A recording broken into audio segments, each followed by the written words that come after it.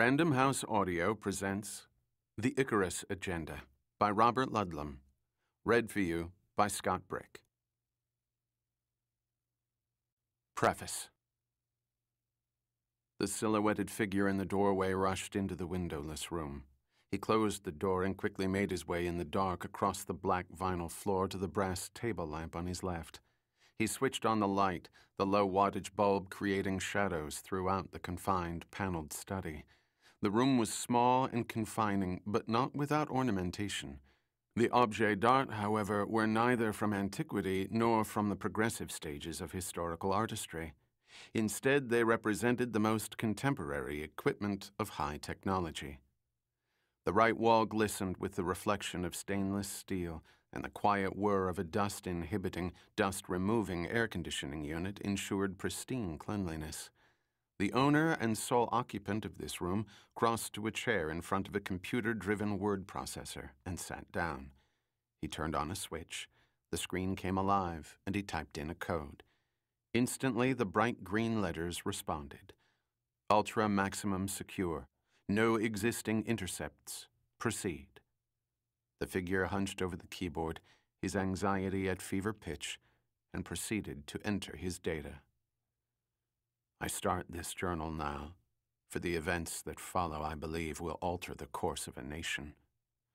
A man has come from seemingly nowhere, like an artless messiah, without an inkling of his calling or his destiny. He is marked for things beyond his understanding, and if my projections are accurate, this will be a record of his journey. I can only imagine how it began, but I know it began in chaos. Book 1 Chapter 1 Muscat, Oman, Southwest Asia, Tuesday, August 10th, 6:30 p.m. The angry waters of the Oman Gulf were a prelude to the storm racing down through the Strait of Hormuz into the Arabian Sea.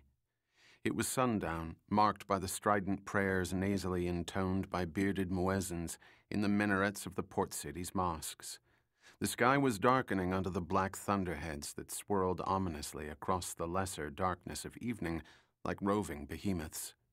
Blankets of heat lightning sporadically fired the eastern horizon over the Makran Mountains of Turbat, 200 miles across the sea in Pakistan. To the north, beyond the borders of Afghanistan, a senseless, brutal war continued.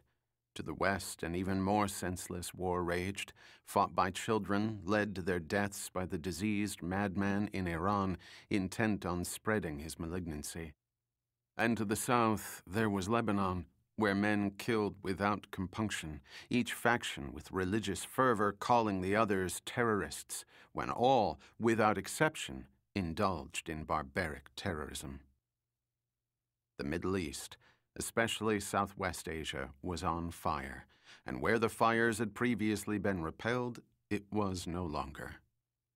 As the waters of the Gulf of Oman furiously churned this early evening and the skies promised a sweep of ravage, the streets of Muscat, the capital of the Sultanate of Oman, matched the approaching storm. The prayers over, the crowds again converged with flaming torches, streaming out of side streets and alleyways, a column of hysterical protest, the target the floodlit iron gates of the American Embassy. The facade of pink stucco beyond was patrolled by scruffy, long haired children awkwardly gripping automatic weapons. The trigger meant death, but in their wild eyed zealotry, they could not make the connection with that finality, for they were told there was no such thing as death, no matter what their eyes might tell them. The rewards of martyrdom were everything. The more painful the sacrifice, the more glorious the martyr. The pain of their enemies meant nothing. Blindness. Madness.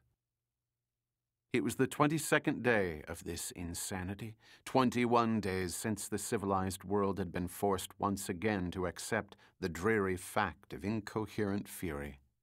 Muscat's fanatical groundswell had burst from nowhere and now was suddenly everywhere, and no one knew why. No one, except the analysts of the darker arts of brushfire insurrections, those men and women who spent their days and nights probing, dissecting, finally perceiving the roots of orchestrated revolt. For the key was orchestrated. Who? Why? What do they really want, and how do we stop them? Facts.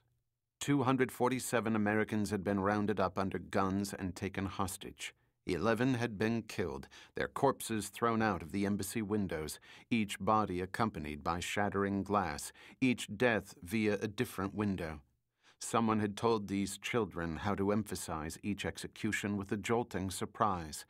Wagers were excitedly made beyond the iron gates by shrieking maniacal betters, mesmerized by blood. Which window was next? Would the corpse be a man or a woman? How much is your judgment worth? How much? Bet! Above on the open roof was the luxurious embassy pool behind an Arabic latticework not meant for protection against bullets. It was around that pool that the hostages knelt in rows as wandering groups of killers aimed machine pistols at their heads. 236 frightened, exhausted Americans awaiting execution. Madness. Decisions?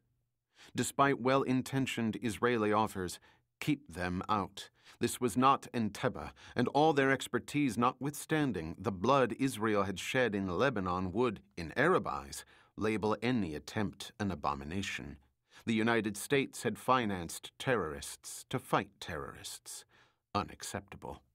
A rapid deployment strike force? Who could scale four stories or drop down from helicopters to the roof and stop the executions when the executioners were only too willing to die as martyrs? A naval blockade with a battalion of Marines prepared for an invasion of Oman? Beyond a show of overpowering might, to what purpose? The Sultan and his ruling ministers were the last people on earth who wanted this violence at the embassy. The peacefully oriented royal police tried to contain the hysteria, but they were no match for the roving wild bands of agitators. Years of quiescence in the city had not prepared them for such chaos, and to recall the royal military from the Yemenite borders could lead to unthinkable problems. The armed forces patrolling that festering sanctuary for international killers were as savage as their enemies beyond the inevitable fact that with their return to the capital the borders would collapse in carnage, blood would surely flow through the streets of Muscat, and the gutters choke with the innocent and the guilty. Checkmate.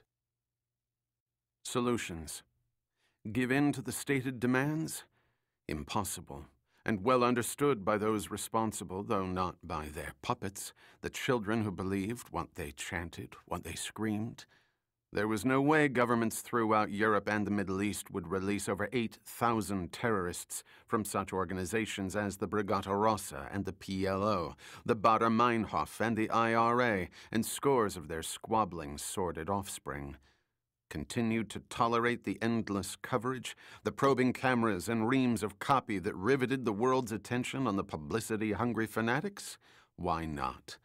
The constant exposure no doubt kept additional hostages from being killed, since the executions had been temporarily suspended so that the oppressor nations could ponder their choices. To end the news coverage would only inflame the wild eyed seekers of martyrdom. Silence would create the need for shock. Shock was newsworthy, and killing was the ultimate shock. Who? What? How? Who? That was the essential question, whose answer would lead to a solution, a solution that had to be found within five days. The executions had been suspended for a week, and two days had passed, frantically chewed up as the most knowledgeable leaders of the intelligence services from six nations gathered in London. All had arrived on supersonic aircraft within hours of the decision to pool resources, for each knew its own embassy might be next. Somewhere. They had worked without rest for 48 hours. Results? Oman remained an enigma. It had been considered a rock of stability in Southwest Asia, a sultanate with educated, enlightened leadership, as close to representative government as a divine family of Islam could permit. The rulers were from a privileged household that apparently respected what Allah had given them, not merely as a birthright, but as a responsibility in the last half of the 20th century. Conclusions? The insurrection. We hope you enjoyed this preview. To continue listening to this audiobook on Google Play Books, use the link in the video description.